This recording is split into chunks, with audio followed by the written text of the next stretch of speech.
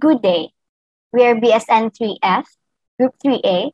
I am Dianne Natibo-oc, and together with me are Felma Mae Marquez, Ashley Trisha Miranda, Franzi Alyanna Mugar, and Sophia Esmeralda Ocer.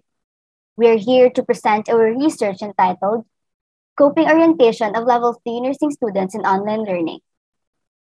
Purpose of the study. The unexpected shift from face-to-face to online learning due to COVID-19 has increased students' concern regarding academic advancement and its harm to their academic performance. Various psychological orientations may help manage the stress caused by pandemic. The study aims to determine the coping orientations of level 3 nursing students in online learning. It helps in the awareness of necessary changes that must be done to overcome the challenges of online learning in nursing field.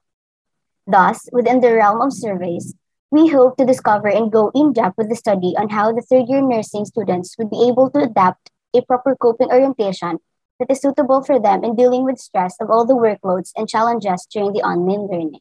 Methodology Research Design Quantitative descriptive research design was utilized. It examined the level 3 nursing students' coping orientation in online learning by describing the nature of a demographic segment participants of the study, the 163 level 3 nursing student taken out from the total population of 274 third-year nursing student using Slovin formula. Researcher used the stratified random sampling technique, which involves the process in dividing the population into subgroups or strata before sampling is done, which enables equal chances for everyone to be selected in sample. Research instrument. The researchers utilized the standardized questionnaire adapted from Brief COPE inventory with the value of NovoPsych data new norms for the Brief COPE. The Brief COPE is a 28-item self-report questionnaire that assesses effective and inefficient coping orientation in the face of a stressful life event. Coping is a broad term that refers to any attempt made to alleviate distress caused by unfavorable life situations. For the results and discussion of the study, first is the demographic profile of the participants. Most of the participants were 21 years old as reflected and the majority were female. Roman Catholic is the religion of most third-year nursing students and in terms of internet connectivity, most of them belong to category 2B. Coping orientation in terms of problem focus, sex, age, religion, and internet connectivity have a moderate mean and standard deviation. The level of coping orientation in terms of emotion focus, sex, age, religion, and internet connectivity have a moderate mean and standard deviation.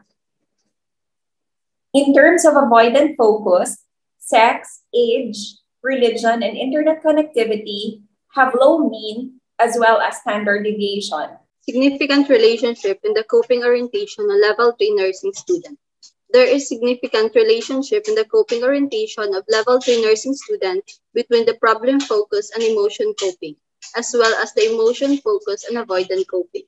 However, there is no significant relationship between the problem focus and avoidant coping.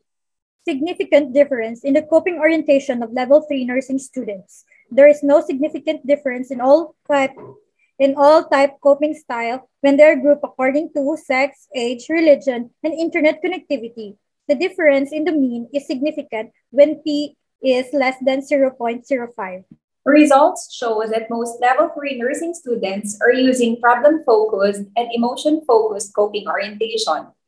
The use of problem-focused coping orientation can change the stressful situation by using informational support actively coping, as well as planning and positive refra- reframing. Recommendations. The study suggests that the educational institution involved one-day academic break to focus on self-care is needed to improve and strengthen the mental, emotional, and physical health of level 3 nursing students. Empowering level 3 nursing students to take care of themselves may lower their stressors and enhance their motivation to excel academically in online learning and even become productive members of their families and communities. Utilization. The result of the study will be submitted to provide the awareness to the institution, teacher, parents, and student about the level of stress among nursing students. Handed over the College of Nursing at USLS Bacolod for them to address the stress of nursing student during the virtual learning, and so the nursing student will be more able to manage their stress effectively. That is our presentation. Thank you for listening.